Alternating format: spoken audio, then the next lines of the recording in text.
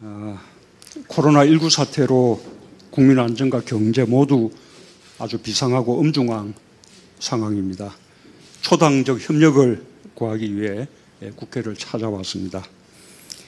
정부는 범국가적 역량을 모아 총력 대응하고 있습니다. 위기 경보를 심각 단계로 격상하고 국무총리가 직접 중앙재난대책본부장이 되어 대구에 상주하고 진두지휘하며 감염병 확산 저지에 나서고 있습니다. 방역 당국과 의료진은 밤낮을 잇고 사투를 벌이고 있습니다. 민간 의료진도 적극적으로 참여하며 헌신하고 있습니다. 국민들은 스스로 방역의 주체가 되어 한 마음으로 힘을 모으고 있습니다. 자발적인 임대로 인하 운동이 전국으로 확산되고 있고 특별히 어려움에 처한 대구 경북 지역 주민들을 격려하는 응원과 자발적인 지원이 줄을 잇고 있습니다. 정치권도 뜻을 함께 모아주셨습니다. 국회에 코로나19 대책 특위를 구성하였고 감염병 예방관리법, 검역법 등 코로나 3법도 신속히 통과시켜 주시고 또 추경 편성에도 모두가 협조의 뜻을 밝혀 주셨습니다. 감사드립니다. 범국가적인 대응을 위한 국회의 협력이 첫 발을 잘 뗀 만큼 협력의 강도와 속도를 높여주시길 당부드립니다. 국가의 방역 역량 강화와 피해 지원 등을 위해 예산과 제대로 뒷받침해 주시길 기대합니다. 2015년 메르스 사태 때 국회에서 특위를 구성하여 선별진료소 설치, 음압병실 확충 등 감염병 대응 능력을 강화한 바 있습니다. 지금도 당장은 코로나19 조기 종식을 위해 초당적으로 힘을 모으는 것이 중요하지만 차제의 국가적 차원의 방역 역량을 한 단계 강화하는 계기로 삼아야 할 것입니다. 긴급한 대책뿐 아니라 중장기 대책에도 관심을 갖고 지혜를 모아 주시기 바랍니다.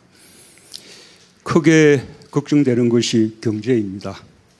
우리 경제의 타격이 아주 큽니다.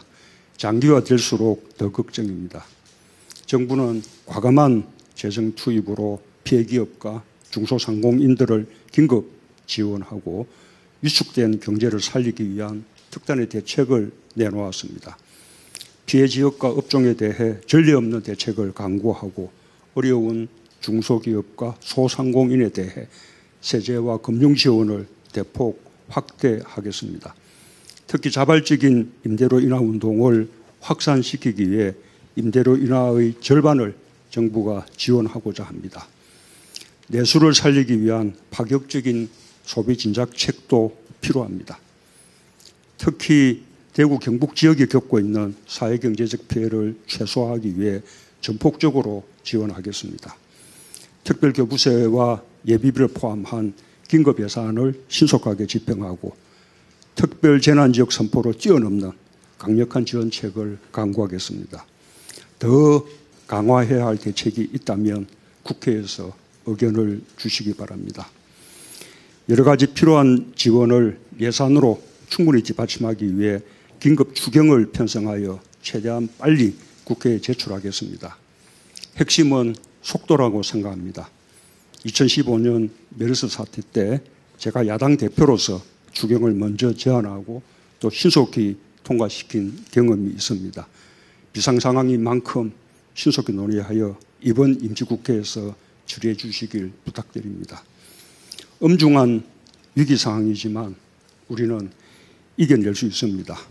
정부와 국회가 함께 힘을 모은다면 사태 해결과 경제 회복이 앞당겨질 것입니다.